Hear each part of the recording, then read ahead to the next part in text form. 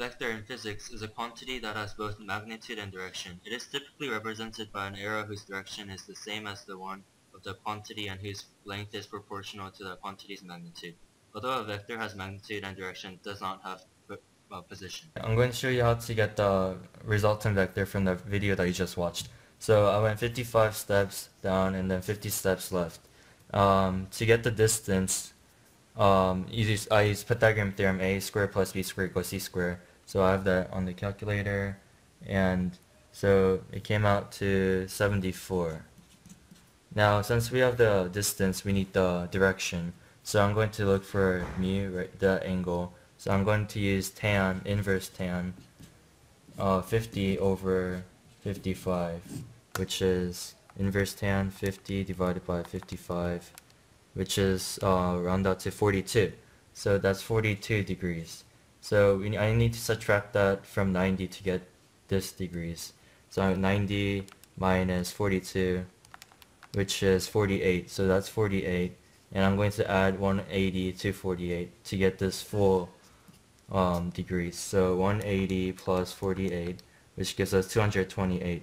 So the resultant vector would be 74 steps at 228 degrees.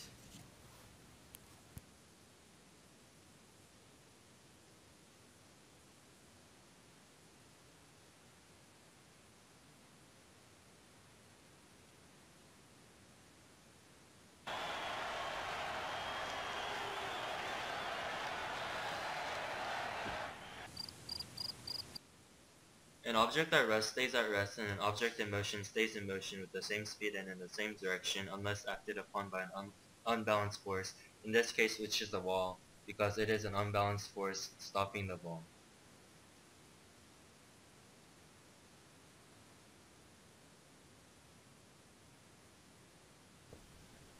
Newton's second law states that the F net is equal to ma, or mass times acceleration.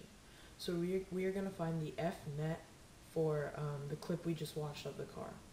So first of all, we have the mass, which is equal to 1,588 kilograms. So next we're going to have to find the acceleration so that we can multiply that by the mass to get the F net. To find the acceleration, we need to start off by getting the velocity. So we know that we traveled 67 meters in 7 seconds. So this will give us a, a velocity of 9.6 meters per second. So now that we have the velocity, now that we have the velocity, we can um, now find the acceleration. By dividing this by the time again, which is 7 seconds, we will get 1.4, which will give us, which is the actual uh, acceleration. So 1.4 meters per second is the acceleration. Now to find the F net, we will take 1.4 and multiply that by 1588 and this will equal our F net and F net is equal to 2,223 newtons.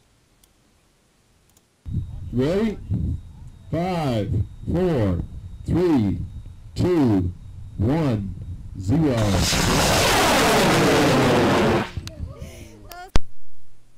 Alright, so Newton's third law states that for every action there's an equal and opposite reaction. And the rocket's action is to push down on the ground with the force of its engines, while the reaction is that the ground pushes the rocket upwards with an equal force.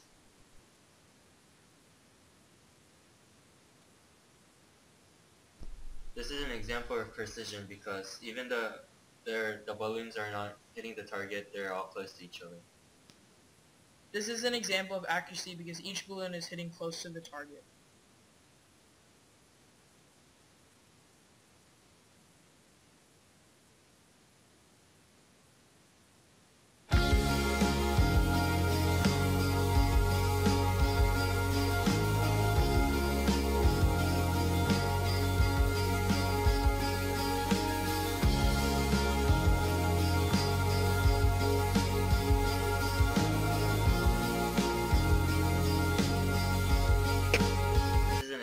Free fall because there is no initial velocity. Here we are trying to find y or the height, which the ball was dropped using the equation y equals 1 half gt squared.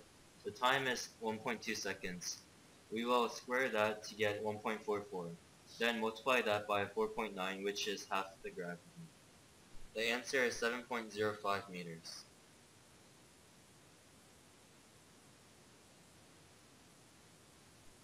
This is an example of equilibrium because the boxes do not move, and this shows that each person exerting the same amount of force on the boxes. Hello class, I'm going to teach you about sig figs today. Okay, so first rule is all zeros, all non-zeros, non-zero numbers are sig figs. So for example, number one, uh, seven, that's one sig fig.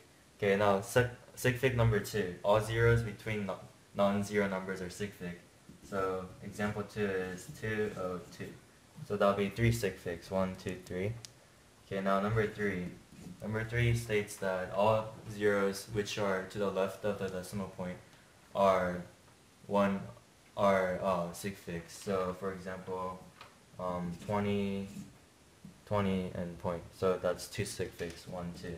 And then now last number, last rule, number 4 it states that all numbers which are simultaneously to the right of the decimal point and at the end of the number are sig fig. So for example, like uh, 300.3. So that'll be 1, 2, 3, 4, 4 sig figs.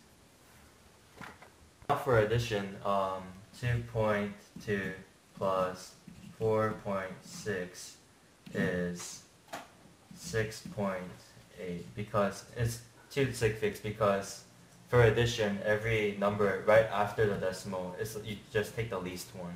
So it'll be only one place, uh, so it's two sig figs. Now I'm going to draw a free body diagram of Alex's car and show you the various types of forces acting upon this car. So first of all, there is normal force going up, and that is called Fn, because Alex, he's driving on this road, which is considered a stable surface. And there's also friction force going that way, and that's called FF. And there is, last but not least, gravitational force pulling the car to the ground, and that is FG.